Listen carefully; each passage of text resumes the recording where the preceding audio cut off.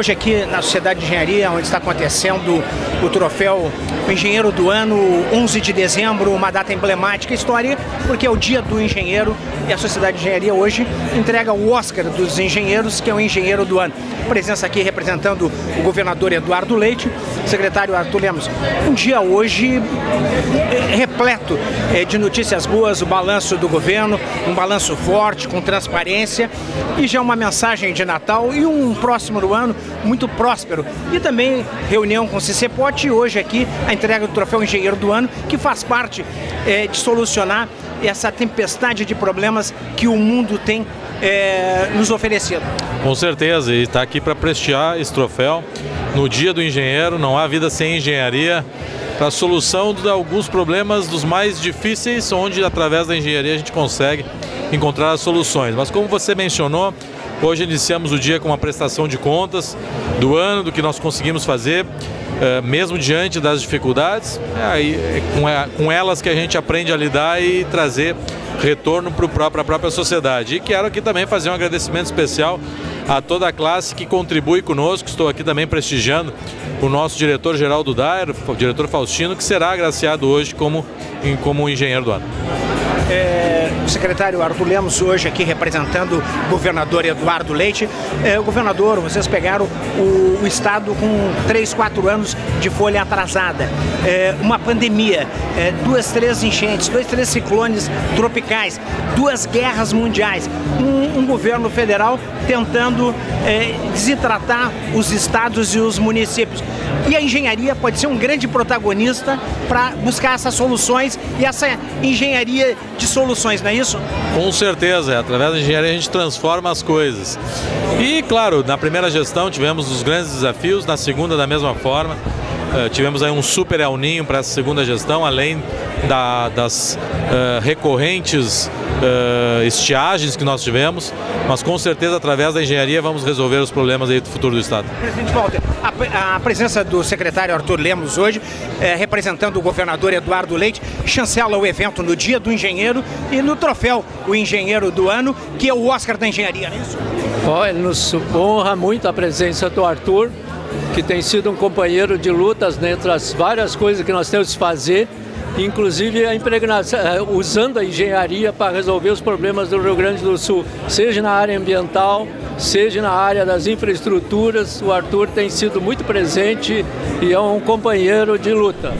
Estamos hoje aqui na Sociedade de Engenharia, dia 11 de dezembro, uma data emblemática história, que é o Dia do Engenheiro, é de todos os engenheiros. É e para celebrar aqui, chancelando esse evento aqui, no troféu O Engenheiro do Ano, que no ano retrasado, eu acho que a engenheira Nancy, a presidente do, do CREA-RS, presidente reeleita do CREA-RS 2024 a 2026.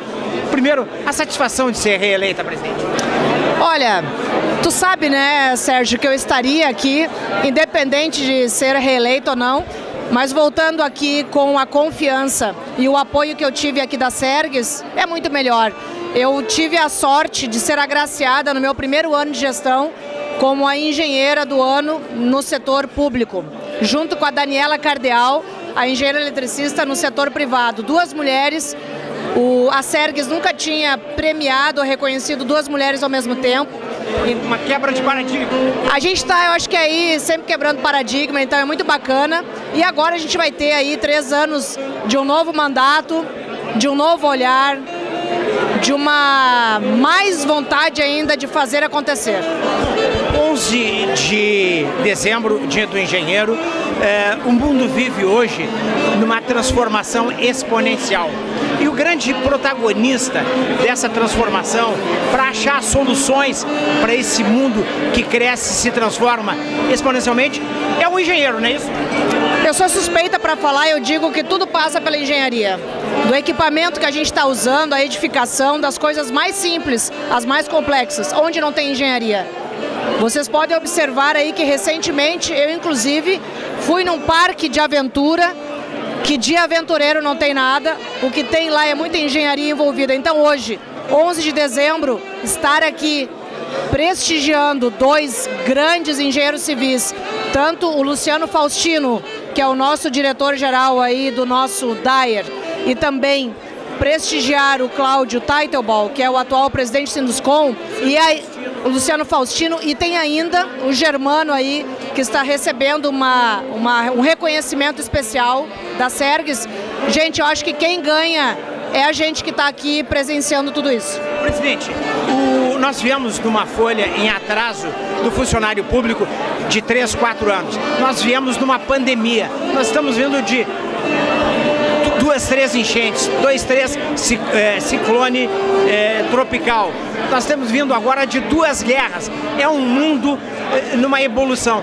Ebulição é uma tempestade perfeita de problemas e a solução passa pela mão do engenheiro e da engenharia. Sempre vai passar pelas nossas mãos. Eu acho que a gente está na construção das cidades e também na reconstrução delas. É importante dizer que agora eu estou participando de um grupo de trabalho é, representando todos os presidentes de CREA a respeito da COP30 que vai acontecer pela primeira vez no Brasil e vai acontecer lá em Belém do Pará em novembro de 2025. E também aí nós recebemos o convite para participar do gabinete de crise climática do governo do estado. Então eu acho que a gente tem que estar tá onde a engenharia está pulsando e participar aí da reconstrução das nossas cidades, do nosso estado. A gente participou ativamente na questão da pandemia e agora continuar aí também participando e pensando. A gente está tendo aí a discussão do plano diretor da nossa capital. O que não falta é engenheiro, engenheiro e engenheiro espalhada por esse estado todo aí para trabalhar, principalmente quem está aí participando do CREA. É hoje o dia da engenharia, hoje o dia do engenheiro, é, e nós, o, o, governador do estado hoje apresentou um balanço de 2024. E o grande protagonismo foi a infraestrutura, que é a base para a educação, a base para a saúde, é a base para o desenvolvimento. Depois ele teve um almoço no Cicepote, também tratando de infraestrutura. A infraestrutura está na pauta, né? A infraestrutura, nossa malha viária, malha rodoviária, a gente tem que olhar aí para a parte a parte uh, hidroviária com mais cuidado do nosso estado. O que não falta é a área para o engenheiro para a engenheira trabalhar. E a gente tem que estar mais próximo aí dos nossos governantes. Não temos mais aquele tempo de ficar observando tudo do gabinete. A gente precisa ter uma presidente mais proativa. Presidente, para finalizar, eu não tive essa oportunidade ainda de pegar uma mensagem sua para 2024, 2026, a nova presidente do CREA reeleita, uma mensagem para os engenheiros e para a engenharia. Olha, o que eu posso dizer é que a gente vai ter um CREA muito mais atuante, um CREA muito mais representativo. A gente tem que ter alguém que nos represente e que esteja não só aqui na Sergues, mas que esteja participando das discussões que ocorrem aqui. Porque participar do evento é só um detalhe. A gente precisa estar junto nas discussões, na elaboração dos projetos, para poder estar aqui, daí sim celebrando. Presidente, seria um exagero dizer que é um, é um CREA transformador e conectado?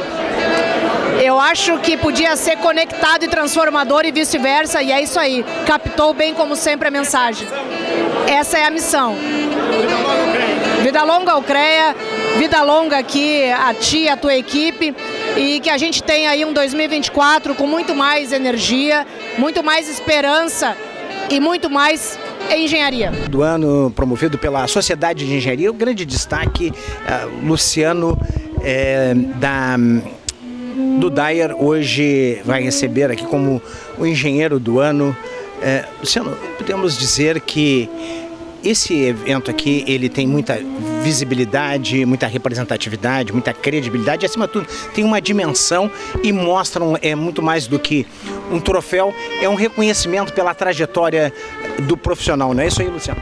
Sem dúvida, Sérgio, uma honra, eu posso dizer que é um sonho que eu estou realizando aqui com essa premiação aí que foi indicada pela Sociedade de Engenharia do Rio Grande do Sul. E eu costumo dizer que esse prêmio não é só meu, esse prêmio é do Dyer. Esse prêmio representa uma nova fase que o departamento está vivendo. Hoje a gente deixou de ser aí um órgão somente criticado pela sociedade porque a gente começou a dar resultado. Eu sempre dizia, o Dyer tem muitos problemas, mas o maior dos nossos problemas é não termos o recurso para poder fazer os investimentos. O oxigênio. Exatamente. Quando esse investimento veio, o Dyer deu resultado. E a prova desse resultado é essa homenagem que a Sociedade de Engenharia está prestando aqui para mim. E é uma satisfação, um orgulho muito grande estar aqui hoje recebendo essa premiação. Hoje o governador fez um balanço de 2023 e o grande destaque foi a presença do Daia mostrando é, os resultados, mostrando, mas acima de tudo é um resultado que é, é um, um balanço que mostra resultado e transparência, não é isso? Certamente, isso é muito importante na gestão pública hoje, né? Além de fazer, é mostrar. E mostrar com os dados abertos, mostrar para a sociedade que o governo está comprometido com o bom uso do recurso que é do cidadão, que é o recurso dos impostos. E isso que o governador fez hoje com maestria, como ele sempre faz, lá com a presença do secretariado, e demonstrando não só o que já foi feito e já está em andamento agora em 2023, mas também projetando o futuro, mostrando que o Estado está no caminho certo, certamente teremos muitas boas notícias pela frente o, Dry, o, o, o Dyer, ele saiu de um ostracismo, não porque queria estar no ostracismo, é, para voos, para dimensões diferentes. É, e isso graças à visão do governador. Podemos dizer, seria um exagero dizendo que esse hoje, o Oscar é, da engenharia, que é o troféu Engenheiro do Ano, é também, é, tem um dedo do governador, do Jovir Costela e de toda a equipe do Dyer, Luciano sem sombra de dúvidas, a gente só está aqui hoje por conta de todo o trabalho que foi feito pela equipe. A equipe começa desde o nosso engenheiro que está lá analisando projetos, fiscalizando obra, passando pela diretoria, com o secretário que está lá nos capitaneando e com o governador que apostou nesse projeto, que colocou recurso para que as obras pudessem sair e hoje a gente está aqui recebendo essa homenagem. Então, certamente, hoje, esse prêmio, que é realmente aí o Oscar da engenharia, ele demonstra que o Dyer está novamente na vitrine, que o Dyer passou a ser protagonista no cenário do Estado. Luciano Faustino, hoje aqui, eh, eu estou te entrevistando e está me vendo um, algo assim na memória, eu estou arrepiado porque vocês eh, chegaram a um ponto que em Bento Gonçalves eh, nós constatamos e registramos Estou passando uma notícia sobre um município e o prefeito chorando em lágrimas, agradecendo, porque há 32 anos atrás, há mais de 32 anos, não se pensava e não se tinha notícia do asfalto numa cidade, porque o asfalto aparentemente é só desenvolvimento, mas não, é saúde, não é só desenvolvimento, é educação, é qualidade de vida, é, mais tributo, inserção social, emprego e renda e autoestima, né? Sem dúvida, eu costumo dizer que o DAIR muda a vida das pessoas e é isso que a gente faz, é isso que a engenharia faz. A engenharia muda a vida das pessoas. Esse caso do grande prefeito lá, nosso amigo de Cerro Grande do Sul, que teve aí o início do seu sonho da realização do acesso asfáltico começando a ser executado. Então eu costumo dizer sempre isso, que o DAIR muda a vida das pessoas, a engenharia muda a vida das pessoas e a gente precisa que o país valorize cada vez mais isso. Estou aqui com o Luciano Faustino, que está recebendo o Oscar da Engenharia hoje, nessa noite aqui na Sociedade de Engenharia, um, um prêmio, um troféu de muita visibilidade, credibilidade e, acima de tudo, de uma dimensão no setor. Mas eu também me lembro ainda que há uns 20 dias atrás estava chegando a, as máquinas para iniciar o asfalto e ele reuniu o povo para soltar foguete que momento, é, que gratidão. É, isso aí justifica tudo isso hoje, né? Sem dúvida. Eu sempre digo que nós do serviço público, a gente sempre tem que olhar para a origem da palavra que representa uh, o nosso cargo, o servidor. A gente está aqui para servir. E é muito gratificante quando acontece isso, que quando um homem público também, como o prefeito lá, reconhece isso e faz um evento daquele tamanho lá, que nos emociona também. Então é uma satisfação poder estar tá aqui hoje recebendo esse prêmio, que é fruto aí do trabalho que a gente tem feito das entregas que a gente gente tem realizado para a sociedade gaúcha. Esse, esse prêmio hoje tem o dedo do governador, tem do Joveiro Costello, secretário, tem de tua equipe do área, tem da tua família também, é, tem dos prefeitos que hoje também pô, é, rezaram para que isso, oraram e fizeram louvores para que isso acontecesse. Mas nós vivemos num mundo de total transformação, é, transformação exponencial. Ele vem, o mundo vem se transformando é, numa velocidade exponencial. E vocês é, vêm, é, hoje nós estamos vindo também é, de um vários anos, que nem o governador hoje falou, de a folha dos servidores em atraso, quase 4, 5 anos em atraso. Eh, nós viemos de três estiagens, viemos de três enchentes, três ciclones tropicais, estamos com duas guerras mundiais, a pandemia, um quadro prefeito, um quadro, um, um quadro, um quadro perfeito para uma grande tempestade. Mas a engenharia é a solução. A engenharia tem sido a ferramenta para solucionar todas essas catástrofes, não é isso? Sem dúvida, a base do desenvolvimento de um país começa pela engenharia. E é isso que a sociedade de engenharia aqui hoje faz com esse ato também, reconhecendo os profissionais que trabalham no setor, para que a gente possa ter cada vez mais um olhar para esse setor que ao longo dos anos ficou até num certo ostracismo em função da dificuldade de recursos que o Estado, que o país tinha para investir e agora com um novo tempo, uma retomada, digamos assim, mesmo com todos esses eventos que tu citou, hoje a gente vive um início de um novo momento, um momento de crescimento. E para o país crescer, virada, né? exatamente, para o país crescer é fundamental a engenharia e por isso que a sociedade de engenharia faz muito, muito bem esse papel de elevar a engenharia no patamar que ela merece e no patamar que o país precisa. Para esse momento que o ser humano está vivendo, da história do ser humano, eu vou inverter a minha frase. Que a humanidade conspire a favor da natureza. Obrigado. Perfeito, muito bem, Sérgio. Obrigado a nós, agradecendo aqui a oportunidade de levar essas notícias e estar recebendo aqui com os amigos esse prêmio tão importante. Estamos hoje aqui na Sociedade de Engenharia, aqui no troféu O Engenheiro do Ano, que é o Oscar é, da Engenharia, um troféu com muita visibilidade, muita representatividade, muita credibilidade e, acima de tudo, muita dimensão, muitas dimensões no setor, principalmente da engenharia. E o grande destaque aqui é a presença do presidente do CCPOT, Rafael Saqui. Presidente, uma mensagem para os que receberam o troféu, porque todos os engenheiros que estão aqui já são vitoriosos, porque a engenharia é uma grande ferramenta de soluções, né? Perfeito, muito boa noite a todos. Uh, a engenharia, o mundo não existe sem engenharia, né? Os recursos, aparelhos médicos nascem de algum tipo de engenharia. Hoje, casualmente, é o dia do engenheiro. Né? Então, parabéns a todos os engenheiros por essa maravilhosa profissão, não só o engenheiro civil, não só engenheiro civil, todas as engenharias hoje são agraciadas com um dia. Então, é um prêmio muito importante, uma entidade de muito respeito, de mais de 93 anos e que, que nos brinda com esse Oscar, hoje com dois profissionais extremamente capacitados e competentes, um do setor público, o engenheiro civil Cláudio Teitelbaum, e um do setor uh, no setor uh, privado, uh, presidente do Sinuscom, Cláudio Teitelbaum, e um do setor público, presidente, o diretor-geral do DAIR, Luciano Faustino. Então é uma, uma honra para nós estarmos aqui enquanto representante de entidade, como presidente do CICEPOT, prestigiando um colega, presidente de entidade, Cláudio Teitelbaum, a quem já deixo um grande abraço, e o nosso diretor do, do geral do DAIR, Luciano Faustino, a quem deixo outro grande abraço, dois profissionais extremamente capacitados e que movem aí setor privado e público sinergicamente para desenvolver engenharia e infraestrutura é, no nosso estado do Rio Grande do Sul. Presidente, nós tivemos hoje é, no Palácio Piratini um balanço de 2023 e o governador olhando o futuro. Fez um balanço e mostrando várias janelas, várias perspectivas de infraestrutura. Porque infraestrutura significa desenvolvimento, qualidade de vida, inserção social, emprego, renda e mais tributo, não é isso? Perfeito. O governador ele vem fazendo um trabalho hercúleo aí para reverter uma situação deficitária histórica do estado do Rio Grande do Sul. O Rio Grande do Sul tem um índice de comprometimento da sua receita corrente líquida, das suas despesas totais, do seu endividamento total de mais de 235% em relação à sua receita corrente líquida.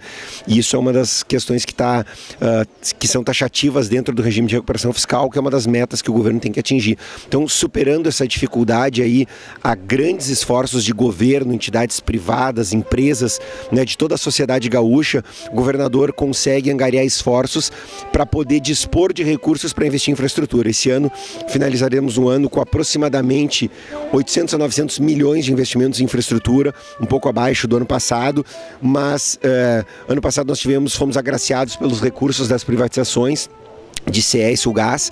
E esse ano aí com a privatização da Corsã também tivemos a oportunidade de ter uma injeção maior de recursos para o setor de infraestrutura.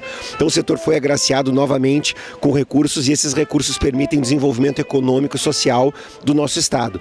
Então esperamos para 2024 mais recursos, como o próprio governador anunciou, ainda não no montante final, né, que ele deseja anunciar, mas ainda em fase de elaboração do orçamento de 2024, mas seguramente teremos gratas surpresas no que tange investimentos em infraestrutura no estado do Rio Grande do Sul para 2024. Presidente, tivemos o balanço hoje do governo do estado no Palácio Piratini. Estamos tendo hoje a entrega do troféu Engenheiro do Ano, que é o Oscar da Engenharia, mas teve um terceiro evento, que é um, um, evento também extremamente significativo, que foi o almoço do governador no Cicepote. Uma reunião profícua, um almoço, um almoço profícuo? É sempre é muito profícuo estar ao lado de uma pessoa tão gabaritada. Eu digo que ninguém chega governador do estado com 30 e poucos anos, né? Não, não. Isso no segundo mandato. Agora no primeiro ele entrou com 34 anos. Então ninguém chega a, govern a governador do estado com 34 anos sem ser extremamente habilidoso, capaz e competente. Então ele, ele apresentou esteve apresentando a questão da, do aumento do ICMS, a importância disso para o estado do Rio Grande do Sul. É um assunto extremamente polêmico, doloroso para a sociedade. Delicado, mas estratégico. Delicado, mas estratégico. Rouba as tuas palavras. É muito bem colocado. Então, ele esteve apresentando números, fatos, dados, argumentos, mostrando que a sociedade gaúcha, na verdade, está sofrendo um, uma recomposição de parte do ICMS que foi derrubado né, no início do governo dele, né, que saiu de 25, de 30 para 25 já no passado, depois de 25 para 17, agora haveria uma recomposição. Então ele apresentou esse projeto para o setor da infraestrutura, mostrando tudo que o governo terá de possibilidade de investimentos em segurança pública, saúde, educação, infraestrutura, ou seja, em áreas estratégicas para o desenvolvimento da economia do Rio Grande do Sul. Foi um almoço extremamente profícuo, um público seleto, um público de qualidade e que pode ajudá-lo nessa construção para o que nós entendemos, né, a mensagem dele entendemos ser o melhor para o estado do Rio Grande do Sul.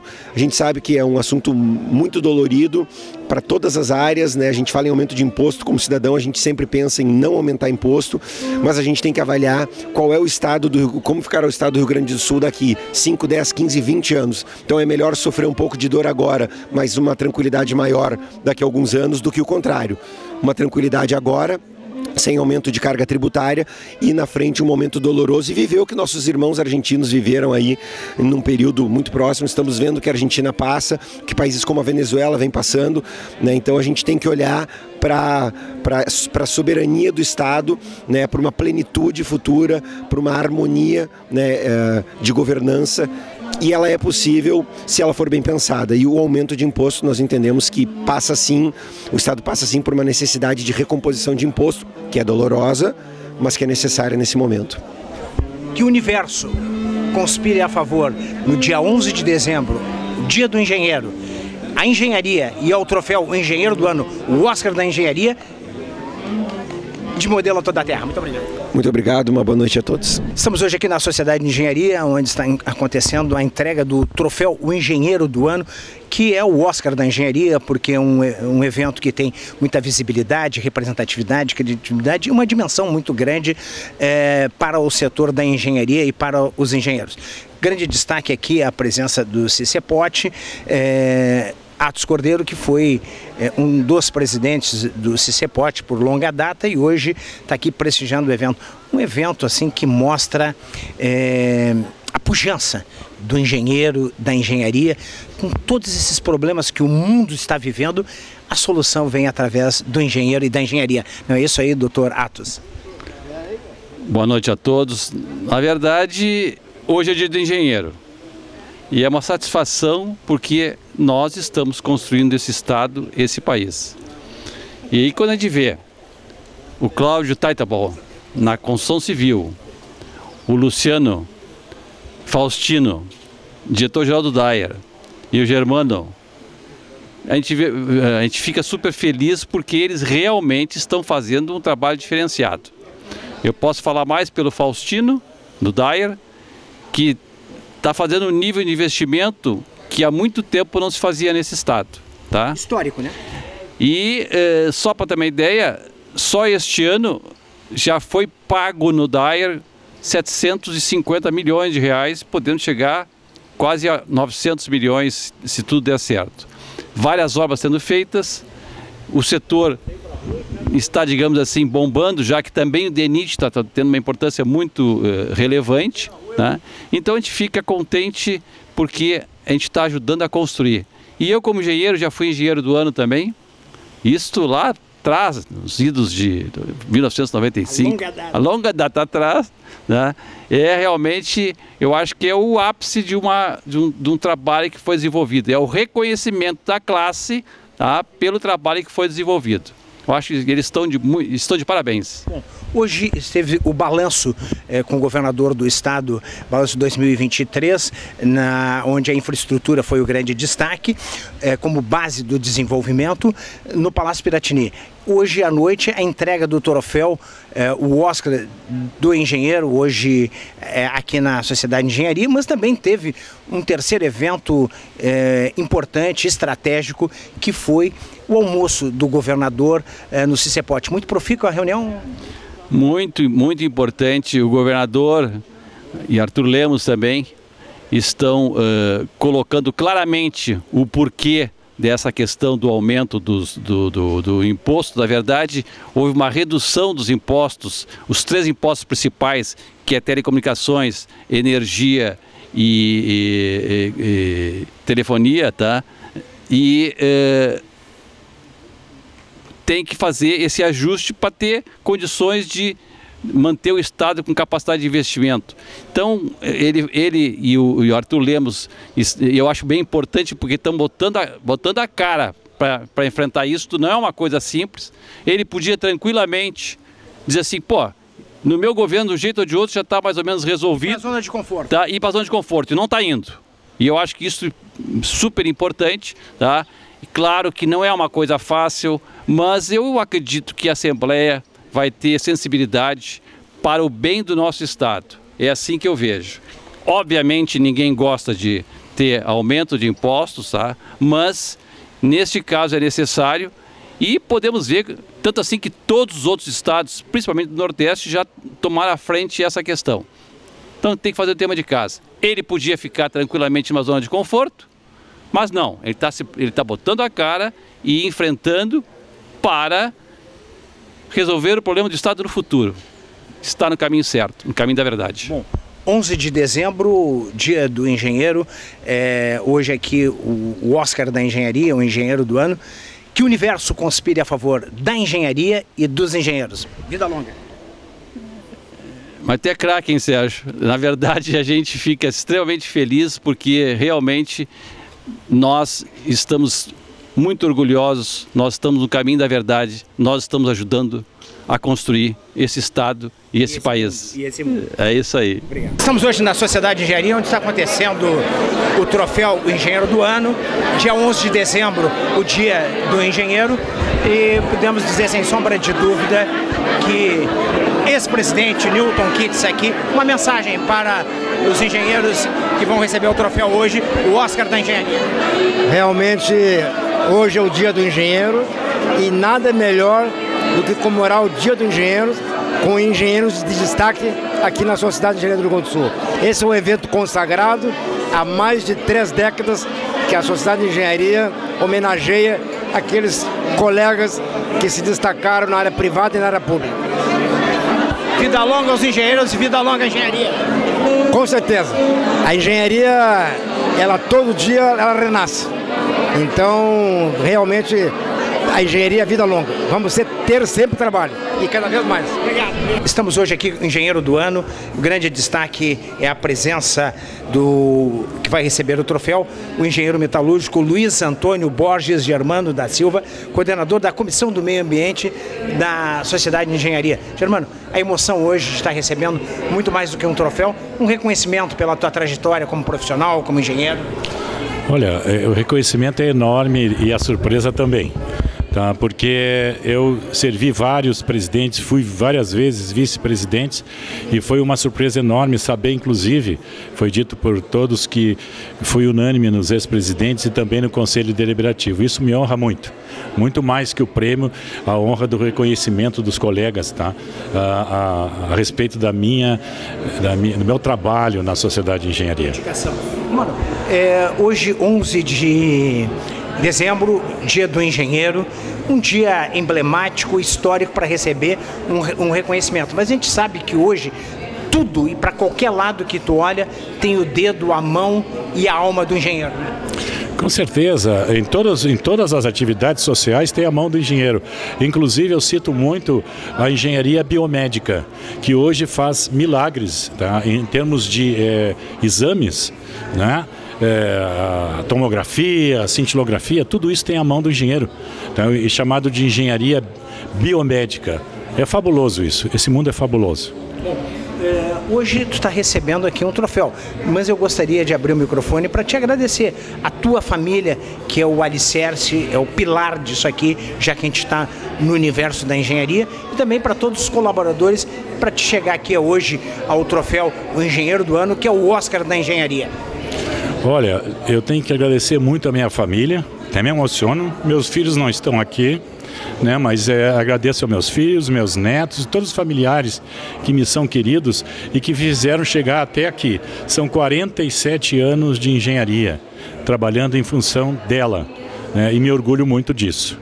Que sirvam as tuas façanhas como engenheiro do ano, hoje aqui no Oscar da Engenharia, de modelo a toda a Terra. Muito obrigado. Eu que agradeço a oportunidade. Muito obrigado. Estamos hoje aqui no Sociedade de Engenharia, onde está acontecendo é, o Troféu Engenheiro do Ano, que é o Oscar da Engenharia. Dia 11 de dezembro, o dia é, do engenheiro, e o grande destaque é a presença do vereador Márcio Binzeli, também presidente do Conselho Regional dos Corretores de Imóveis, presidente Márcio Brizeli, vereador Márcio Brizeli, advogado também hoje, prestigiando um evento, uma profissão importante tanto quanto a dos corretores.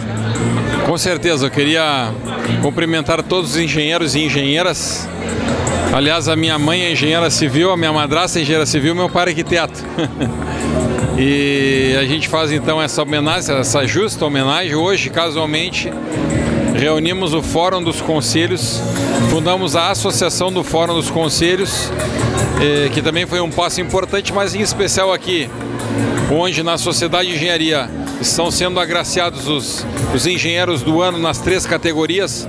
Fica aqui o meu abraço aí ao Cláudio Teitelbaum, ao Faustino e ao Germano, eh, os três agraciados. Cumprimentos àqueles que organizaram e também aí toda, digamos assim, o reconhecimento a a questão da academia, na inovação, na engenharia, os, os prêmios todos de reconhecimento à, à academia, no caso, não é? às universidades, e todos aqueles de uma forma ou de outra contribuíram para esse dia, eh, para que a sociedade de engenharia pudesse fazer esse reconhecimento a esses eh, diletos profissionais e engenheiros que têm feito a diferença no dia a dia da sociedade e a engenharia como um todo, que muito deve à nossa sociedade, à nossa comunidade, aos avanços tecnológicos, ao avanço das, das mais diversas engenharias. Hoje foi agraciado aqui um engenheiro metalúrgico, engenheiro civil, um engenheiro que trabalha no setor público e a gente sabe o quão importante, tão quão relevante é a engenharia para agregar qualidade de vida às pessoas, a inovação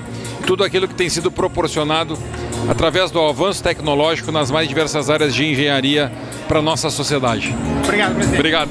Estamos hoje aqui na Sociedade de Engenharia, onde está acontecendo o troféu Engenheiro do Ano, 11 de dezembro, dia do engenheiro.